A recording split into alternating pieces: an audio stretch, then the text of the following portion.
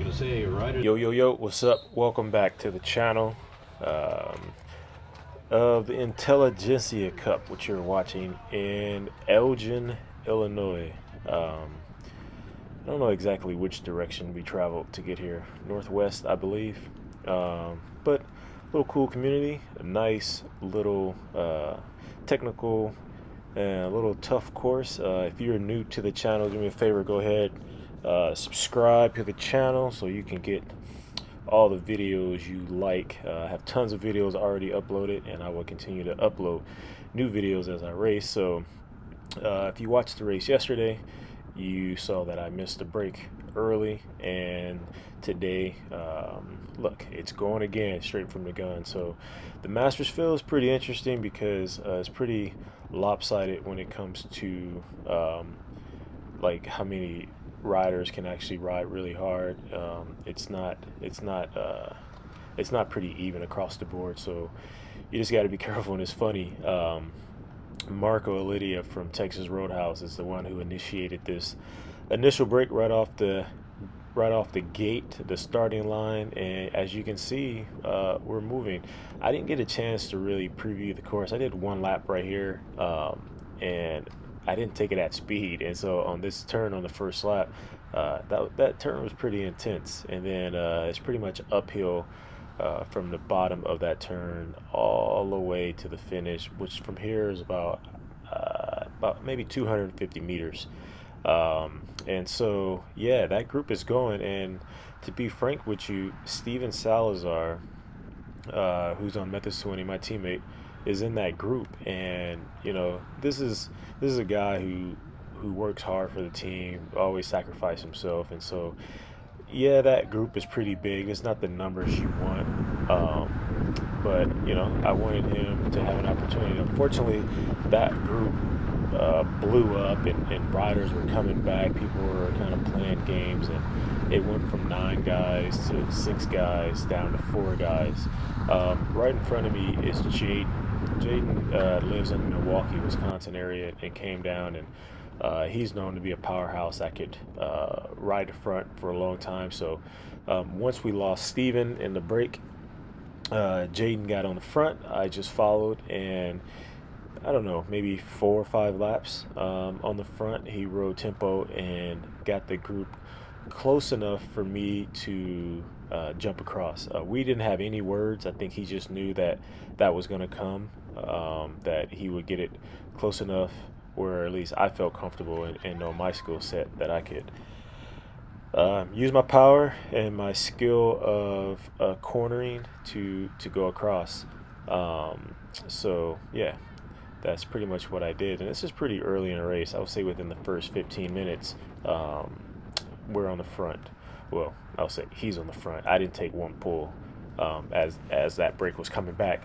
Uh, fortunately, you know, lucky enough to have Jaden in the Midwest, and, and he came over to Chicago to race with us uh, to give us some extra horsepower. Um, tactics totally changed with him in the race. You know, uh, if it was just up to Sally and I, um, we have to be extremely attentive and we we can't set tempo like this. That's not our riding style. Um, and so yeah, very fortunate to have him.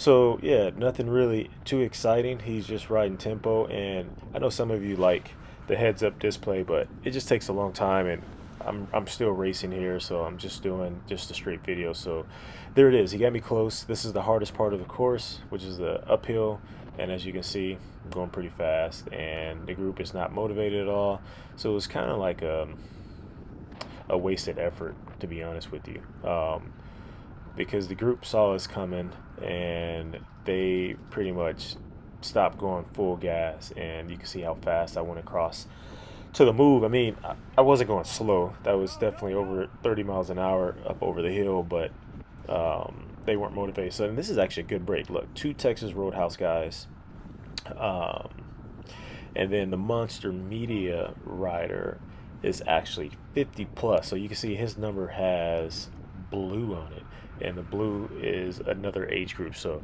he's in the driver's seat. Also a local, uh, Randall Randall Coxworth. Uh, we spent some of his time in California as well, so um, we know each other pretty well when it comes to racing. And to be honest with you, we were uh, quietly kind of not necessarily helping each other, but like he was in the driver's seat for 50 plus, and he really had nothing to lose at this point because if we stay off the front, we've got it all sewed up. Um, the unfortunate part of this break was just the negative riding um, by ABD. I mean, they had three riders in the break, and they could do their own tactics. I'm not, you know, mad at that, but it's like uh, a little frustrating um, to have so many people in the break, and it's just pretty negative. So, um, anyway, it was still a good group. Uh, uh, they end up having I think three three riders in the break, um, and this was pretty much how the group was going. It was like I, I don't know. It's it's just uh, I don't know what to think about it. Um, but you know, I, I, was at the point, especially after yesterday, I, I was at the point where I just wasn't gonna let things like that slip by. So I fast forwarded because we end up lapping the field. So what you see now is the rest of the field. This this group absolutely blew up within the first like six seven laps um, and then if you look at my rear camera it's starting to fall off again so yesterday i lost it and today uh, it's coming off. So here I am trying to grab it in this really fast corner, and I finally get my hands on it and take it off, and I stick it inside of my jersey. So unfortunately, for the rest of the race, you will not have that rear-facing camera. So after lapping the field, uh, some of the riders who lapped actually went through the field. Right now, Jaden is on the front, just kind of turning the screws, and he's definitely going to get a reaction from everyone um, even lap riders. He's, I mean, he's one of the strongest riders, if not the strongest rider in the group. So when he moves, everyone moves. As you can see, he's got a little gap, and, and people are going uh, pretty hard to try to catch him. Uh, here's Adam. Adam. Adam said he had the worst race of his life right here. He's, you could just tell he wasn't really into it. Maybe a little fatigued, but um, he stayed on the front a little bit until uh, I was like, man, I don't know if he's gonna close this gap or not. So had to go around, kind of put myself in a pinch right there, taking a bad line in that chicane. Uh, lost a lot of speed, but this is a downhill that you can use. And later in the race, you will see why this point right here was pretty pivotal for me. Um, this corner was extremely fast. Uh, I wish, I really do wish I had the speed up there. Um, we're probably even on slow laps, we're probably going like 32, 33. You know, fast laps like that one.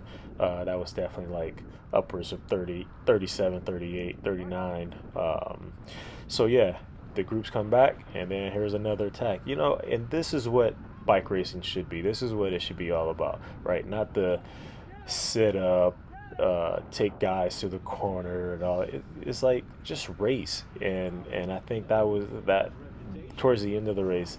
This is where we're at. So if you just missed it, that's nine laps to go, and um, Randall gets back on the front to keep the pace going. I'm kind of like looking around, and I didn't know that Jaden wasn't back on at this time. Um, but as soon as I said that, he just came out of nowhere and got back on the front and chased the group down. So here's another solo attack. Uh, again, uh, ABD has three riders in the move.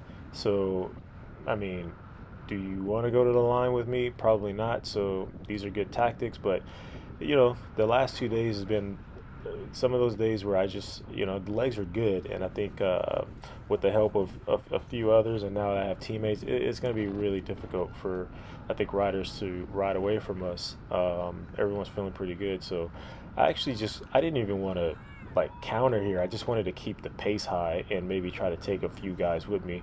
Um, unfortunately, unfortunately, I go off the front and uh, I establish a huge gap at this point um, I looked down, I was doing like 700 watts, 30 plus miles an hour, and I was like, okay, maybe that was a little bit too hard. Uh, who, uh, who's gonna want to follow that?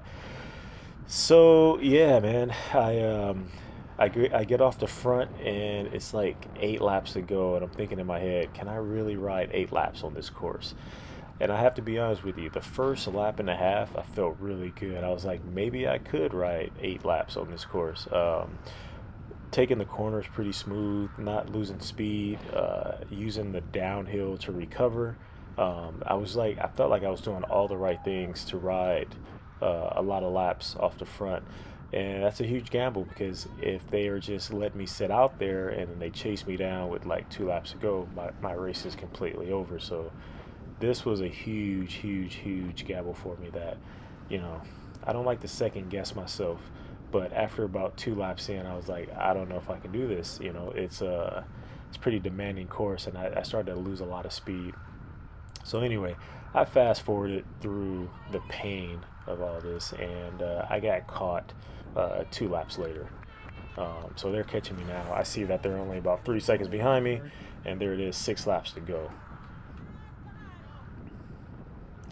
So I moved far left because I'm like, I need to see what's going on. Somebody's gonna attack, and to my surprise, no one moved. Like, if I was in their shoes, I don't care if I'm hurting. I'm going off. It's like the the the the fastest guy in the group just spent two and a half laps off the front. I'm definitely attacking him, but it didn't happen. They allowed me to recover, and uh, I'm pretty sure they regretted that. So after we lapped the field, we did have some intermingling of riders that that got lapped because now there is another break. So we lapped the field, we go through the field, and now there's another break. Um, here's another attack, um, and which is an interesting place to attack. You're not, you can't go too fast through that chicane right there. So um, it was an interesting place to attack. Um, because it's a place where not many people are going to chase you through through the chicane. So um, actually, a, a, really interesting and, and, good good place to go. Uh, thank God for these for these two guys because they were actually lapped, um, and and maybe they have motivation uh, to to get. I guess we had seven guys to get in the top ten, so it was in their their best interest for this group to stay off the front. Um, if they're in the 40 plus because they could slide in the top 10 because seven guys already lapped. Um, so as you can see, he grew a massive gap. And as I was thinking, all right, which part of the course am I going to attack and go go across to him? Uh, because it's only two laps to go. Um, here comes Jaden, and he gets on the front, which was perfect timing. So we brought him back, and we are now looking at one lap to go. Rando's on the front. Uh, for Monster Media, like I said, he's in another age group, so he's got his win locked up already. Um, and there we have Texas Roadhouse, which has Marco Aledia as their sprinter. Jaden is in third, uh, one of the White brothers in front of me, and I'm riding fifth, of course. Um, behind me are another, I don't know, four guys, uh, including Marco, who is a sprinter, um, and including uh, one of the other brothers. I don't know which one is which when we're racing, to be honest with you. So at this point, I'm just uh, paying attention. As you can see, Jaden is also looking over his shoulder, seeing what's going on. Um, and we're approaching the chicane. Um, I didn't expect uh, any anything to go uh, before this chicane, but I did expect something to go after. And I kind of played myself right here because I should have stayed left, but the group slowed up and I went right. Now my right tire is on the inside, and there's the attack. So I just kamikaze on the right side right here. This was a line I only took one time in the entire race. And at this point, I was out of the saddle sprinting into that turn. And it was the fastest I've gone. And at this point, where I hit this corner right here, I knew that that Too Short song came in my head. It's time to go. Mm-mm-mm. You better get up out my face. It's time to go. So, yep, that was it threw down some serious watts um, for this one. Uh, I was a little frustrated with it myself. I didn't even celebrate. I just wanted to cross the line, uh, hop on the podium, and get out of Dodge. So, yep, happy with the result. Finally got one. Thanks for watching.